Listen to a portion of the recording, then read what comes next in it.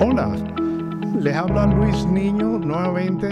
En este caso, estamos en un guest house que fabricamos con fines de renta para Airbnb.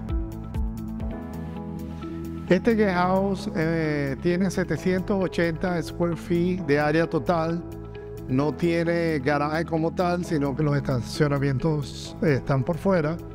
Y tiene dos habitaciones y cada uno con su baño. Lo interesante de este modelo es que es un modelo moderno, con techo plano, techos altos, más altos de lo normal. Y bueno, es otro modelo de negocio que estamos aquí enseñando y presentando. Si estás interesado en este modelo de negocio, contáctanos aquí abajo.